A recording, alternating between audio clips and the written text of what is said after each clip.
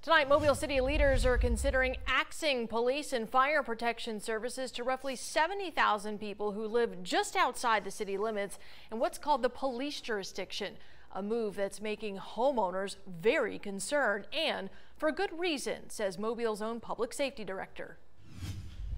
Goes up in flames in the Bradbury subdivision on Cody Road. Right now, Mobile Fire Rescue puts it out.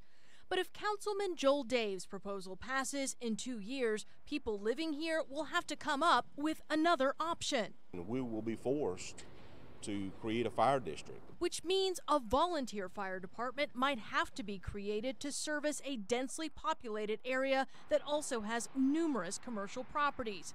An unacceptable scenario, says Mobile Public Safety Director James Barber. Our analysis of that area is that a volunteer fire department would not be equipped or staffed properly to handle that area. For example, says Barber, if an apartment building or a large commercial building like Walmart caught fire, ladder trucks would be needed, which volunteer departments, he says, typically don't have. There's also the question about what kind of ISO rating a startup volunteer fire department would have, which has a direct link on how much you pay in insurance.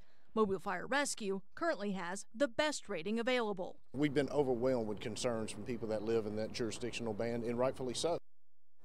Councilman Daves' proposal got a lot of pushback at today's city council meeting. Both city and county leaders questioned the true cost burden to the city providing these services. County commissioners also spoke publicly about the burden this would place on an already understaffed sheriff's department. And as we just mentioned, the issues with having to come up with fire protection services in just two short years. Daves says he would be open to pushing the deadline, but believes there needs to be one. Otherwise, nothing changes. I don't have any interest in in leaving these folks in the lurch. I think we're all we're all agreed on that. Council committee will meet to discuss this issue January 14th at 2 o'clock.